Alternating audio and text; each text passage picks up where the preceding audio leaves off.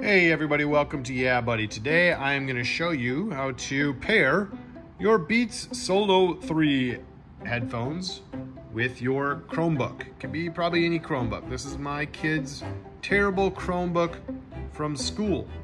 So don't let the school know, but uh, it can be done with basically any Chromebook. Okay, so you need to open up your settings menu, which I actually just closed out of. Click on that little donut there. I don't see, oh, here it is. Here's settings right there, top of the screen. It's gonna open up your settings menu. Go over to the left side, click on Bluetooth. Open up your Bluetooth menu. Okay, find Bluetooth. What you're gonna wanna do is pair your new device, but make sure your headphones are off first. Pair that new device. Okay, so now your computer is gonna start searching.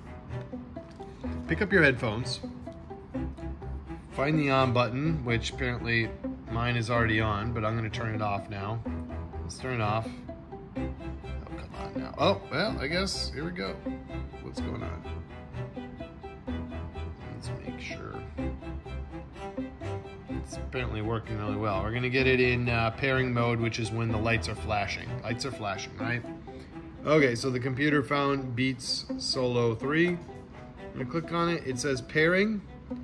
Now we appear paired. All right, so we're all paired. We're all paired.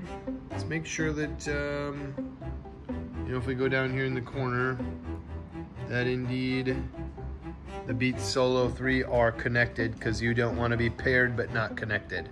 Okay, so that's it.